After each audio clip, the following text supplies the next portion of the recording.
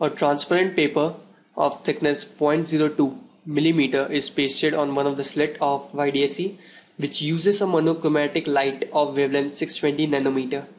How many fringes will cross the paper if the paper is removed? Fine. Now one thing that optical path length is given by mu minus 1 into t alright now when I pasted it on one of the slit then let's say some pattern is obtained on the screen. And now if I remove it then there will be a central maxima at the center. Fine. Now I have to calculate the number of fringes that will cross the center if the paper is removed. Now of course the optical path length will produce some path difference. Let's say this is a delta x. This is the path difference created by the slab. Alright. Now I have to calculate that how many of the slit how many of the fringes will cross.